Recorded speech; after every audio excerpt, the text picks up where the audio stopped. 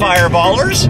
Today I'm headed north on Pacific Coast Highway driving the 600 horsepower 2019 Cadillac CTSV. I'm taking this up to the Murphy for the spectacular vintage trailer show. There's going to be 40 plus vintage trailers. I don't think there's going to be any Cadillac vintage trailers, although that would be cool. But the Murphy's been doing this show for uh, quite some time. It's always spectacular. There's going to be over a thousand people there, and we're going to have a spectacular time because that's what we do.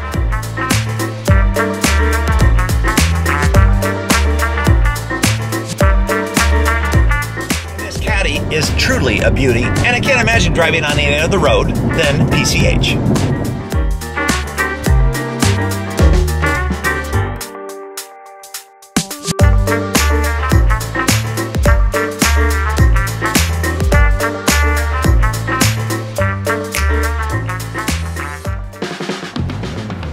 We are at the Murphy Museum before the zoo opens, before the crazy amount of people that are going to show up here anytime.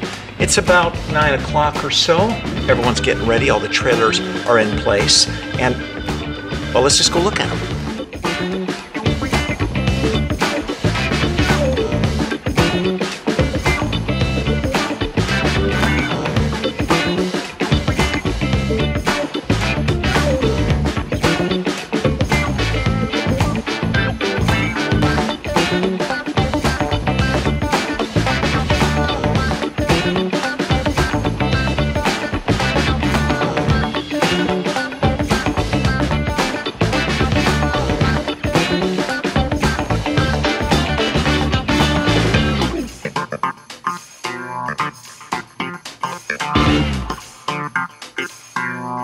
That's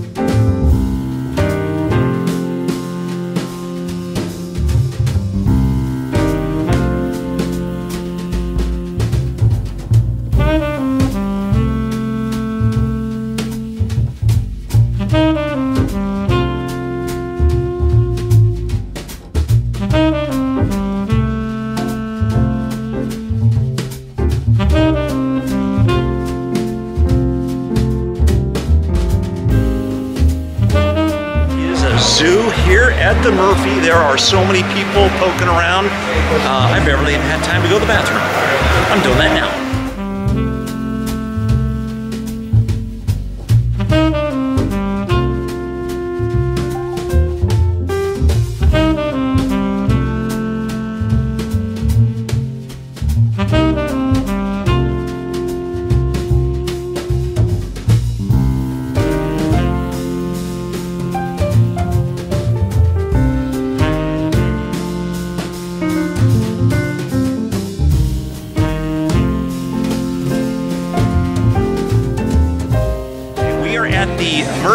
Vintage Trailer Show.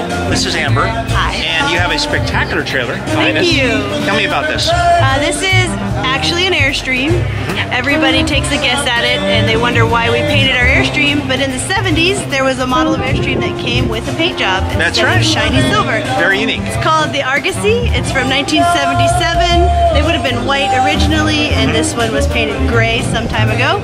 Um, almost all original inside with a few modifications, and uh, we just love it. And what, what's the best thing about being into vintage trailers for you? the community, everyone getting together and sharing your stories, and it's like show and tell on a large scale. Right. Uh, it's a hobby that takes you places. You're on vacation all the time. Well, it's still work, but yes, it's definitely enjoyable, and just the all the accoutrements and all the good people, Yeah. and just the uniqueness of every piece and every person. Cool. Yeah, well, thank you for being here today Yes, with nice us. to meet you. Awesome. Thank you. Okay. Thank you. Yeah. Hi guys. Hi there. Little schnozzes. Who's this? Oscar, Hi Oscar. Hi Oscar. Oh, buddy, three little sausages. buddy, yes they are.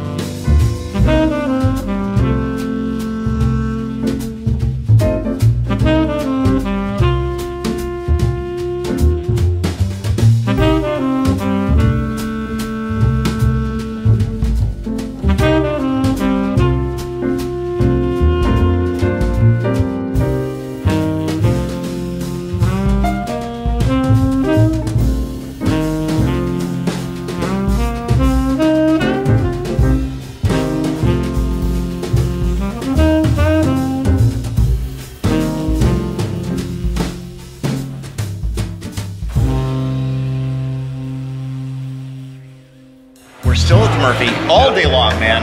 All day long.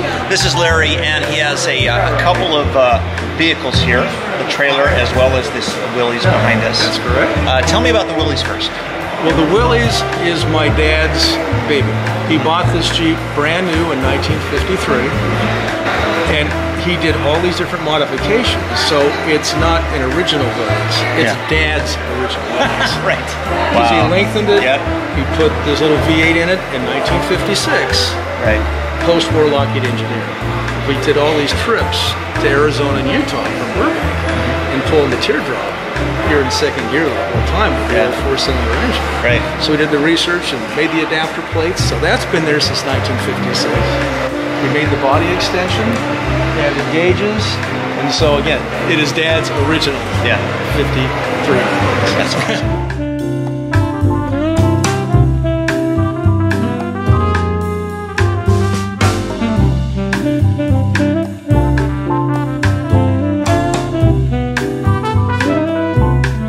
Dad originally went in the Southwest in 1949 with his Buick convertible, which didn't do well.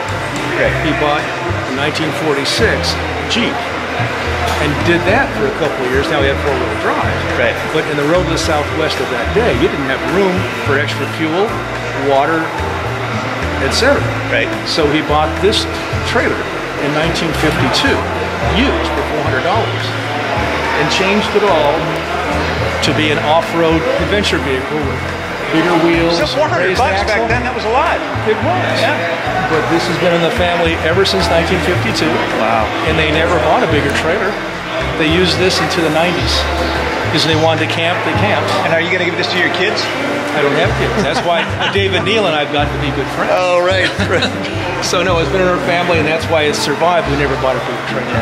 So it always stayed in the garage. It's got plenty of patina, but not the damage you have if it was left outside and used. Yeah. So these cameras, most of the pictures you see were taken with those two. Yeah. And that's the 60s version. Such great history.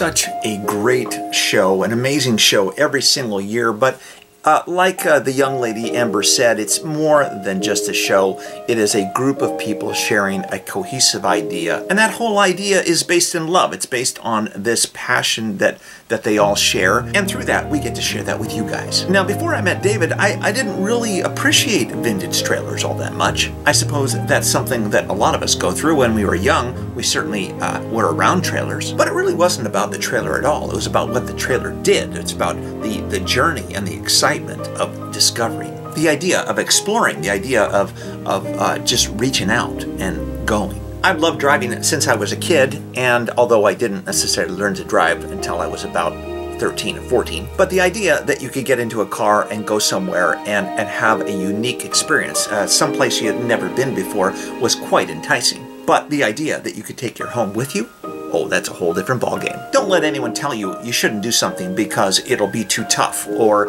uh, it'll take too long, or it'll cost too much, or whatever that lame excuse might be. You gotta get out there, people. You gotta get out there and experience the world like these guys in the Vintage Trailer Show. Yes, the Murphy Museum is moving, and we won't be able to take all the trailers that we currently have. But there's still the Buellton Vintage Trailer Show. There's still an amazing trailer show that we have every year at that museum, even though it's gonna be in a whole new location. But trust me when I say, we're gonna have a whole new store, and we're gonna have a lot of vintage trailer coolness there. All right, guys, thanks for watching. Uh, that's the end of the vlog. Be sure to hit the like button, subscribe if you haven't. This is Fireball Malibu Vlog. I'm Fireball Tim, and I'm out of here.